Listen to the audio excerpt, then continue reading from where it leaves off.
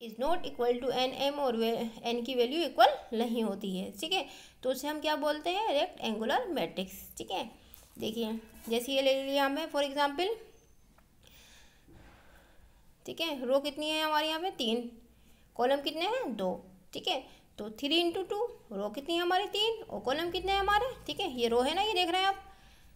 One are one ये हो गया R one R two R three ठीक है? कॉलम कितने हैं? सी वन सी टू ठीक है? तो क्या हो गया ये? रो कितनी है हमारी? तीन इंटू तीन। और कॉलम कितने दो। तो m is not equal to n तो three is not equal to ठीक है? इसमें रो और कॉलम इक्वल नहीं है। इसे क्या बोलते हैं? रेक्ट एंगुलर मैट्रिक्स ठीक है? इसके बाद क्या आता है? स्क्वायर मैट्रिक्स ये हमारा ज़्यादातर स्क्वायर मैट्रिक्स ही यूज़ होता है, ठीक है? तो इसमें क्या है? स्क्वायर मैट्रिक्स में क्या होता है? सबसे ज़्यादा,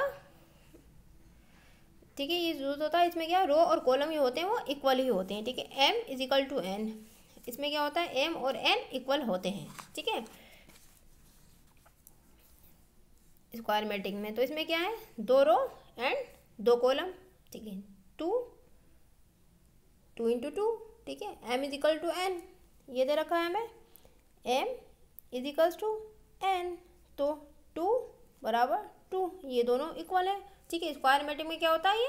इक्वल ही होते हैं। ठीक है, इतना समझ में आ गया आपको? ये क्या होती है? स्क्वायर मैट्रिक जो होती है, सबसे ज़्यादा यूज़ होती है। इसमें रो और कॉलम इक्वल होते हैं। रेक्ट एंगुलर मैट्रिक्स में रो और कॉलम इक्वल नहीं होते हैं। ठीक है?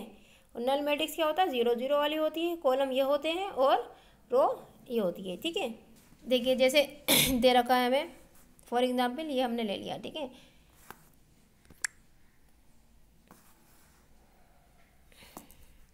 One, two, three and seven eight six, ठीक है? तो इसमें क्या है? रो कितनी है? टू है। कॉलम कितने हैं? वन, टू, थ्री, ठीक है? टू इंटू थ्री अब इसमें ऑर्डर निकालना है हमने, ठीक है? तो ऑर्डर निकालने के लिए क्या हम करते हैं? हॉरिजॉन्टल क्या है? रो क्या है हमारी? दो है, ठीक है? दो है ये आ गई। और वर्टिकल क्या है हमारा इसमें? ये वर्टिकल है कॉलम है, ये कितने हैं? तीन है, ठीक है?